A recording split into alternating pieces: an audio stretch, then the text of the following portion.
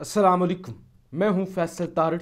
इस वीडियो के अंदर हमने बात करनी है काफ लीग पर नू लीग की जानब से किस तरह गोलियाँ चलाई गई हैं। चौधरी परवेज इलाही को बरतरफ कर दिया गया है। हुसैन इलाही, मोनस इलाही और कामल अली आगा के खिलाफ भी चौधरी शुजात की जानब से सर्जिकल स्ट्राइक की गई है। इस हवाले से भी हमने बात करनी है। Saudi Arab Mohammed bin Salman ने कप्तान के हक में कितना बड़ा ऐलान किया है। इस हवाले से भी हम बात करेंगे और फिर चार मेंबर किस तरह से नू लीग के साथ हाथ कर गए हैं इस वीडियो के अंदर, इस हवाले से भी हम बात करेंगे। सबसे पहले जी, काफ लीग जो इस वक्त मुकम्मल तौर पे टूट चुकी है आदि काफ लीग नू लीग के साथ है और बाकी जो काफ लीग है, वो कप्तान के साथ खड़ी हुई है और वो इस वक्त मुशावरत कर रहे हैं और पीटीआई के अंदर शमूलियत करने जा रहे हैं और ये सारा कुछ चल ही रहा है।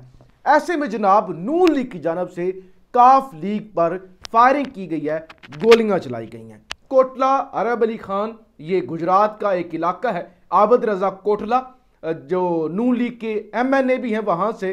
तो आज मूसा इलाई ये जो वजात हुसैन के साहबजादे हैं, हुसैन इलाई एमएनए हैं, उनके भाई मूसा इलाई गुजरात गए, गुजरात के इलाके कोटला, अरब अली खान में, वहाँ के सिविल अस्पताल को अपग्रेड करना था और उसका अफ्ताह था और वहाँ पे सिविल अस्पताल का नाम तब्दील करके शहीद जहूर इलाई अस्पताल नाम रखना था, यानी उसकी वो तख्ती लगनी थी। तो वहाँ से जनाब नू लीग के ग्रुप हरकत में आ गए और यहाँ से काफ लीग के ग्रुप थे। तो लिहाजा नू लीग के जो ग्रुप्स हैं, उन्होंने फायरिंग कर दी। हवाई फायरिंग हुई पुलिस भी थी। वहाँ पे बड़ी भगदड़ मची, क्योंकि उन्होंने कहा कि हम आपको ऐसा नहीं करने देंगे, किसी भी सियासी शख्सियत के नाम पे, अस्पताल का नाम आपको नहीं रखने देंगे, क्योंकि सख्त मुखालफत है ना जो आबद रजा हैं, वो नून लीग की हैं और काफ लीग अपनी वहाँ पे जगह बनाने की कोशिश करती है, लेकिन आबद रजा कोटला वहाँ पे बड़े मज़बूत कैंडिडेट हैं, नून लीग की जानब से एम एन ए बनते हैं, हालाँकि आबद रजा पर भी मुतद केसेस हैं और इवन 302 के उन पर केसेस हैं। तो लिहाजा वहाँ पे जी, आज बड़ी सख्त फायरिंग की गई है।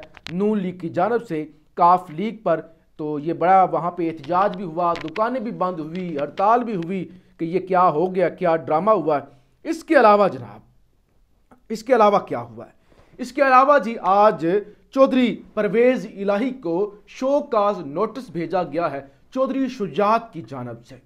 लिहाजा और बरतरफ भी कर दिया गया है। यानी बुनियादी जो रुकनीत होती है किसी भी पार्टी की, उससे आज बरतरफ किया गया है चौधरी परवेज इलाही को और शो काज नोटिस दिया गया है कि सात दिन के अंदर अंदर आप अपना जवाब जमा कराएँ कि कैसे काफ लीग पंजाब का सदर चौधरी परवेज इलाही पूरी जमात काफ लीग को पीटीआई के अंदर जम करने की बात कर सकते उन्होंने लिखा कि क्योंकि आपने गुजशत दिन प्रेस कॉन्फ्रेंस की थी, उसमें आपने कहा था कि हम शामिल होना चाहते हैं पीटीआई के अंदर। तो लिहाजा आपने ये क्यों बयान दिया है? इस बयान को वापस लें, हमारे शदीद तहफात हैं, वरना हम आपको पार्टी से निकाल देंगे। और ज़रा सुनिएगा, पार्टी का जो इजलास हुआ है, उसमें जनाब लिखा गया है कि पार्टी की सीनियर क्यादत, और सीनियर क्यादत कौन सी है?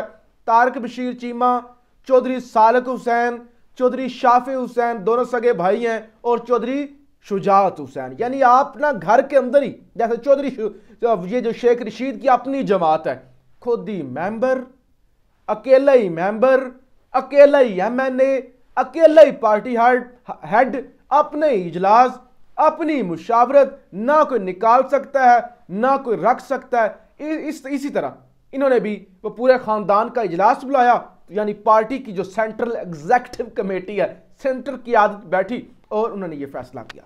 उसके बाद जनाब उन्होंने हुसैन अलाई, मोनस अलाई और कामल अली आगा को भी शोकाज नोटिस भेज दिया। उन्होंने कहा, आप क्योंकि एम एन ए दोनों, मोनस अलाई भी, हुसैन अलाई भी।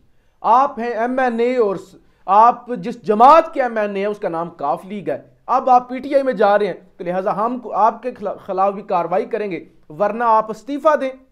आप इस्तीफा दें कि अगर पी टी आई में जाना चाहते हैं तो आप ज़रूर जाएँ। कामर अली आगा काफली की जानब से सैनेटर हैं। उन्हें भी कहा गया है कि आम पार्टी से तो पहले भी उनको निकाल दिया गया, लेकिन ज़ाहिर है, काफली के टिकट से वो सैनेटर हैं। तो आपने भी अगर किसी दूसरी जमात में जाना है तो हम आपके खिलाफ कानूनी कार्रवाई करेंगे, हम आपको नायल करवा देंगे, हम आपसे सीट वापस ले लेंगे। लिहाजा आप या तो पार्टी छोड़ के ना जाएँ, ना उस तरफ़ जाएँ, वरना आपके खिलाफ कार्रवाई की जाएगी। तो आज जनाब चौधरी शुजात जो है, वो हरकत में आए हुए और इससे लग रहा है कि ख़ानदान कितना ज़्यादा इस वक्त डिवाइड है। इसके अलावा जनाब क्या हो रहा है?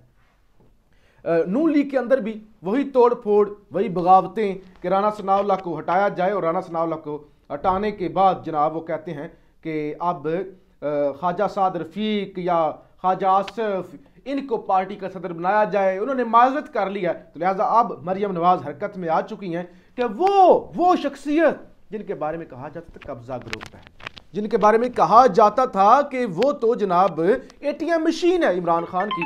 आप जनाब, उनको उनको उनको उनको बनवाने के लिए जो है पंजाब का सदर मरियम नवाज़ जनाब हरकत में आ चुकी हैं कि अलीम खान को नू लीग पंजाब का सदर होना चाहिए। ख्वाजा साद रफ़ीक और एहसन इकबाल, सॉरी, ख्वाजा आसफ नहीं थे, ख्वाजा साद रफ़ीक और एहसन इकबाल ने माजरत कर लिया कि हम पंजाब की सदारत नहीं संभाल सकते। तो आप मरियम नवाज़ खुद अलीम खान को लगा देंगी तो लिहाजा ये इस वक्त नून लीग के अंदर सूरत हाल चल रही है। नून लीग के साथ एक जो और बड़ा हाथ हुआ है, वो भी मैं आपके सामने रख दूँ। चौधरी गुलाम हुसैन सीनियर सहाफ़ी हैं। ए आर वाई पर द रिपोर्टर्स के नाम से खावर घुमन साहब के साथ पहले साबर शाकर साहब हुआ करते थे, उनके साथ प्रोग्राम करते हैं। उन्होंने ये दावा किया है, खबर दी है। वो कहते हैं कि चार पीटीआई के मेंबर ऐसे हैं जिन्होंने नू लीग से पैसे पकड़े, यानी करोड़ों के अंदर होंगे, ज़ाहिर है, करोड़ों रुपए पकड़े। करोड़ों रुपए उन्होंने लिए और उन्होंने कहा कि हम एतमाद के वोट के अंदर न्यूट्रल रहेंगे। हम जो, हम हम वोट नहीं करेंगे, हम आएँगे नहीं, हम गैर हाजिर हो जाएँगे उस दिन।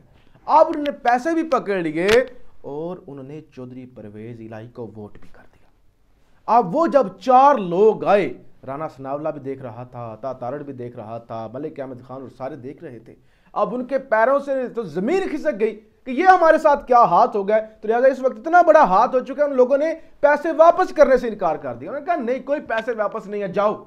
अब नून लीग के पैसे भी जा चुके हैं और वोट भी नहीं मिला। यानी ये इतना बड़ा हाथ इनके साथ हुआ है, वो क्या कहते हैं? सौ प्याज भी खाना और सौ जूते भी खाना, करोड़ों रुपए भी दिए हैं और उन लोगों ने पैसे लेकर जो है, वो वोट भी चौधरी परवेज इलाही को दे दिया है।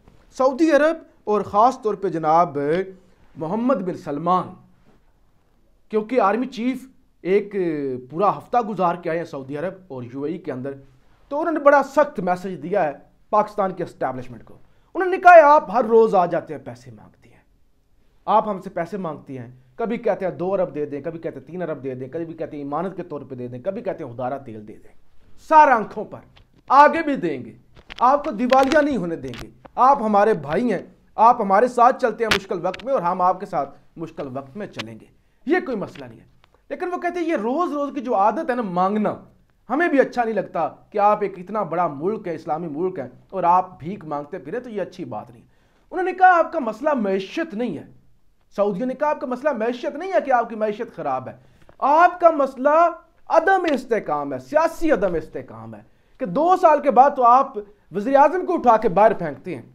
तो लिहाजा स्टेबिलिटी तो होती कोई नहीं। तो लिहाजा उन्होंने कहा कि हम मुतालबा करते हैं कि आप फौरी तौर पर साफ़ और शफाफ पाकिस्तान के अंदर इलेक्शन करवाएँ। हमें कोई फ़र्क नहीं पड़ता कि कौन सी हुकूमत आए यानी नून लीग की आए, पीपल्स पार्टी की आए, पीटीआई की आए।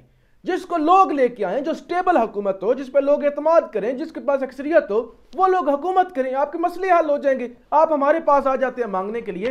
लिहाजा ये सारा मामला हुआ है और उसके बाद आपको माहौल तब्दील होना नज़र आ गया यानी माहौल तो तब्दील हो रहा है ना। कि मामला इलेक्शन की तरफ़ जा रहे हैं। आज इमरान खान साहब ने कह दिया, उन्होंने कहा कि हम कौमी असम्बली की तरफ़ जाने का सोच रहे हैं, मुशावरत चल रही है, और हो सकता है कौमी असम्बली वापस चले जाएँ। और फिर राना सनावला ने भी कह दिया कि ये अगर कौमी असम्बली आते हैं तो हम इनको वेलकम करेंगे। यानी हमारी तरफ़ से कोई भी एतराज़ नहीं होगा। हम वेलकम करेंगे तो लिहाजा ये आएँगे तो ये तो शहबाज शरीफ को फारग करने के लिए आएँगे। वहाँ पे एतमाद की वोट का कहेंगे, एतमाद का वोट नहीं ले सके तो फिर वो रन ऑफ़ इलेक्शन होगा और अगर उसके अंदर मेंबर जिसके पूरे हो गए, वो सारी कहानी होगी या खुद ही हो सकता है उससे पहले शहबाज शरीफ इस्तीफ़ा दे दें और फिर ये असम्बली के अंदर वापस आ जाएँगे तो ये अपोजिशन होंगे तो फिर राजा रियाज तो नहीं होगा। तो लिहाजा फिर अबूरी सेटअप के हवाले से वो सारे जो मामला चलने हैं, वो चलेंगे। तो इस वक्त ये मामला जनाब चल रहे हैं कि सऊदी अरब और ख़ासतौर पर जो ये बिन सलमान है, ये बड़ा मुतालबा करे इस्टेबलिशमेंट से कि ये ड्रामा और तमाशा आप बंद करें और नून लीग के साथ जो हाथ हुआ है कि चार लोगों ने पैसे भी ले लिए और वोट भी नहीं दिया। अपनी राय का इजहार ज़रूर कीजिएगा, पाकिस्तान जिंदाबाद।